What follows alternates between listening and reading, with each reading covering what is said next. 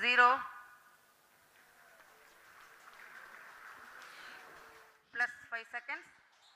Lift off normal. P1 Here tracking. we have a majestic liftoff of R2 LVM-3. M4 rocket carrying India's prestigious Chandrayaan-3 spacecraft. P2 tracking.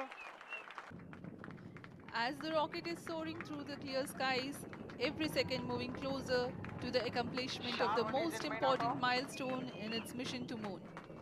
Every Indian witnessing the launch live is content with the feeling of watching history in the making. The S-200 motors thrusting simultaneously generating a peak thrust of close to 6000 kilonewtons in vacuum. They are made of change over to HTPB SCP2. based solid propellant. 204.5 tons in each strap-on. Close to 2 tons of propellant being burnt each second.